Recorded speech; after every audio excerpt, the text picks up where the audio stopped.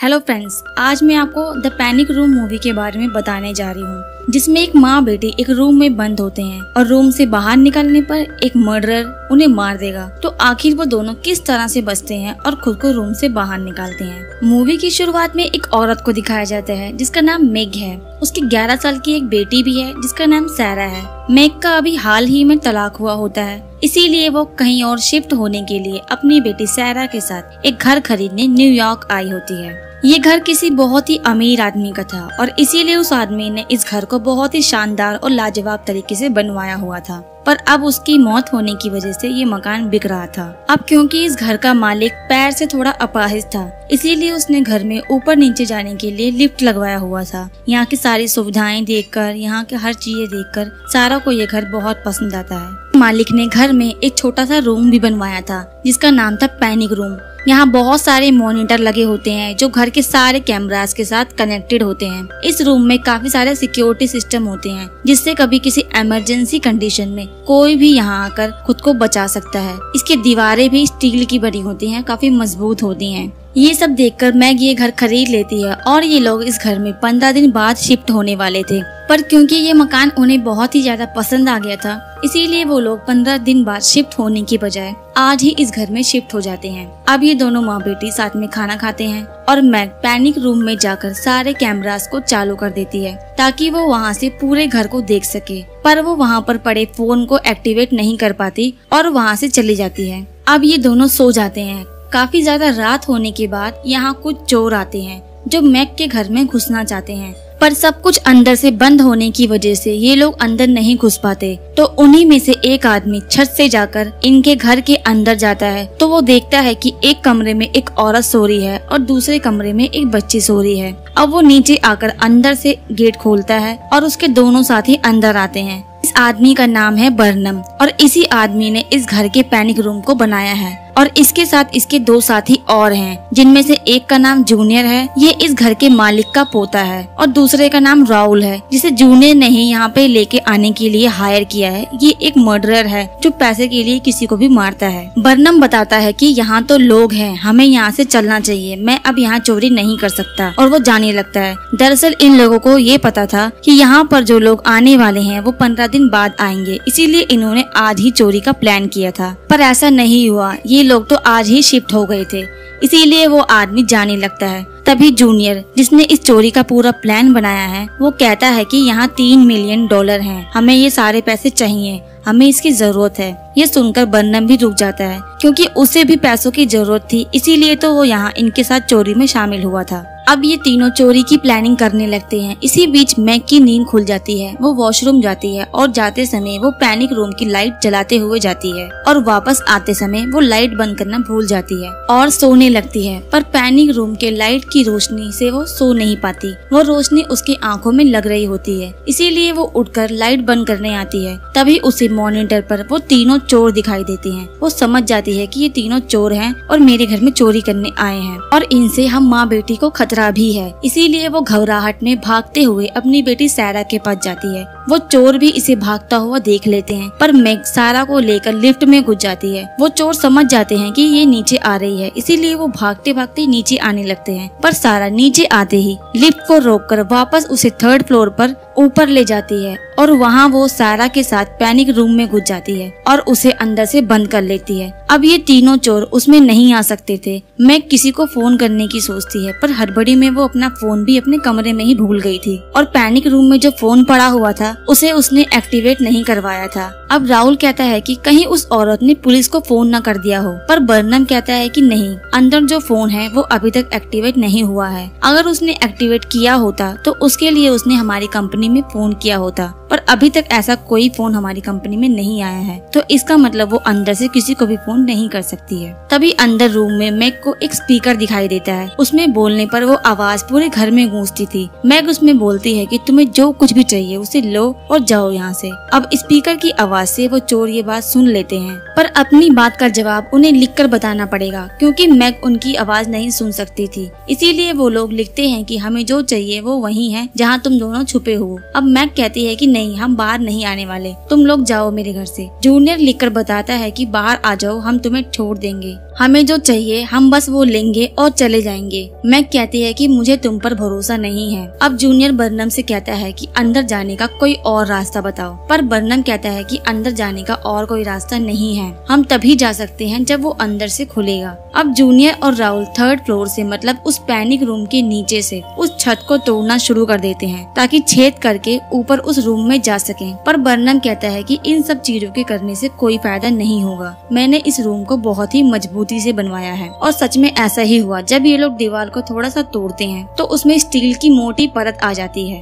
और उसे तोड़ा नहीं जा सकता। तभी बर्नम गैस सिलेंडर को लेकर आता है और पैनिक रूम में छोड़ना शुरू कर देता है, ताकि घबराकर सांस फूलने पर वो दोनों माँ बेटी बाहर आ जाएँ। अब अंदर मेग और सारा घबरा रहे होते हैं, तभी सारा को लाइटर नज़र आता है। वो खुद को और सारा को लिटा देती है और उस तरफ़ लाइटर से आग लगा देती है। पूरी आग उस पाइप से वापस चले जाती है, जिससे जूनियर जल जाता है। अब मैग मदद के लिए चिल्लाने लगती है, पर उस रूम से मैग की आवाज़ बाहर न जाने की वजह से कोई भी उसे नहीं सुन पाता। फिर सारा टॉर्च की मदद से अपने घर के सामने वाले घर में टॉर्च की लाइट मारने लगती है, ताकि उसे देखकर कोई अंदर से बाहर आए और उनकी मदद करे। और ऐसा ही होता है। घर के अंदर से एक आदमी बाहर आता है। वो इधर उधर देखता है तो उसे कोई भी दिखाई नहीं देता और न ही उसे सैरा और मैक की आवाज़ सुनाई देती है। इसीलिए वो पर्दे लगाकर वहाँ से चला जाता है। ये दोनों ये देखकर बहुत उदास हो जाते हैं। अब ये तीनों चोर नीचे आकर आपस में ही झगड़ा करने लगते हैं। इन्हें झगड़ा करता हुआ देख मैं अपना फ़ोन, जो कि बगल वाले कमरे में ही भूल आई थी, वहाँ से लाने की सोचती है। वो धीरे धीरे अपने कमरे की तरफ़ जाती है और कमरे में आकर वो अपना फ़ोन उठा ही रही होती है कि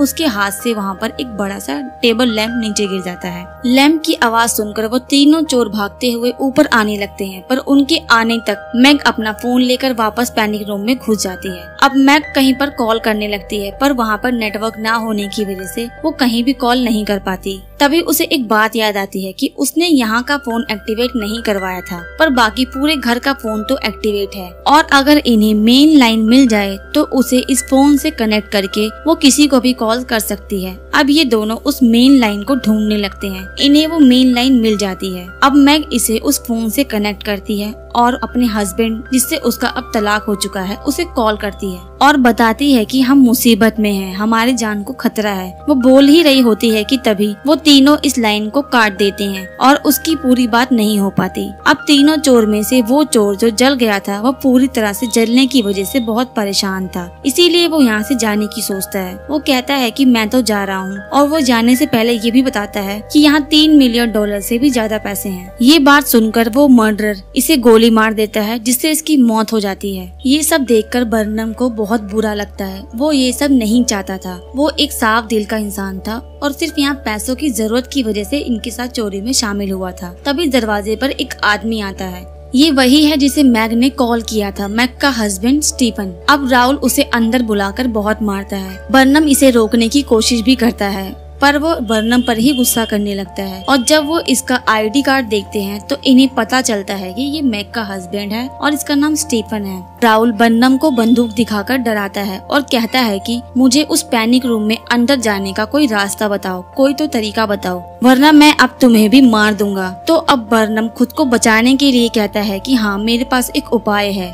वो स्टीफन का आईडी कैमरे में दिखाता है और राहुल स्टीफन को बहुत पीटता है, ताकि मैक को पता चले कि उसका हस्बैंड इनके कब्जे में है और वो ये सब कैमरे में देख रही होती है। अब धीरे धीरे सैरा की तबीयत भी खराब होने लगती है। उसे शुगर की बीमारी है। अगर उसकी दवाई उसे टाइम पर ना दी जाए तो उसकी जान को भी खतरा है। ये देखकर मैक बहुत परेशान हो जाती है। उसे कुछ भी समझ नहीं आता कि वो क्या करे। सारा की तबीयत बिगड़ती ही जाती है, जिससे मैक भी घबरा जाती है। वो इधर उधर कुछ मीठी चीज़ खाने के लिए ढूंढती है, पर रूम में कुछ भी चीज़ नहीं थी। उधर दूसरी तरफ़ राहुल स्टीफन को मारता जाता है। बर्नम उसे धक्का देकर मना करता है कि बस छोड़ दो इसे। वो अपनी जैकेट निकालकर कैमरे के आगे लगा देता है, जिससे मैक को कुछ भी नज़र नहीं आता कि बाहर क्या हो रहा है। दरअसल ये लोग अपने कपड़े बदल लेते हैं। राहुल स्टीफन के कपड़े पहन लेता है और स्टीफन राहुल के। अब दूसरे कैमरे में मैक देखती है कि बर्नम राहुल को घसीटते हुए सीढ़ियों से नीचे ले जाता है। वो सोचती है कि इन दोनों का आपस में झगड़ा हुआ है, जबकि वो राहुल नहीं, बल्कि उसका हस्बैंड स्टीफन था। उसने राहुल के कपड़े पहने हुए थे। अब सारा की बिगड़ती हुई हालत को देखकर मैक को इस पैनिक रूम से बाहर निकलना था। उसकी दवाइयाँ और इंजेक्शन फ्रिज में से लेकर आना था। इसीलिए मैक दरवाज़ा खोलकर बाहर निकलती है। वो देखती है कि बाहर उसका हस्बैंड स्टीफन बेहोश पड़ा है, जबकि वो स्टीफन नहीं, बल्कि राहुल था। उसने स्टीफन के कपड़े पहने हुए थे, ताकि ऐसा करके वो मैग को बेवकूफ़ बना सके। मैग अब सीधा फ्रिज की तरफ़ भागते हुए जाती है और इंजेक्शन और दवाइयाँ निकालती है। अब उधर राहुल पैनिक रूम के बाहर खड़ा होता है और बर्नम भी भागते हुए वहाँ आ जाता है। जब मैग वापस आती है तो राहुल को पैनिक रूम के दरवाजे के बाहर खड़ा देख वो बहुत डर जाती है। वो सीधा पैनिक रूम के अंदर भागने की कोशिश करती है, पर बर्नम उसे पकड़ लेता है। वो वो बहुत कोशिश करती है कि वो किसी तरह अंदर घुस जाए और उस रूम को अंदर से बंद कर ले, पर ऐसा नहीं कर पाती। उसकी और बर्नन की थोड़ी सी झड़प भी हो जाती है, और इसी में उसके हाथ से वो इंजेक्शन गिर जाता है। वो इंजेक्शन को उठाने लगती है और इसी बीच राहुल और बन्नम रूम के अंदर घुस जाते हैं। दरवाज़ा पूरा बंद होते होते मैग भी फटाफट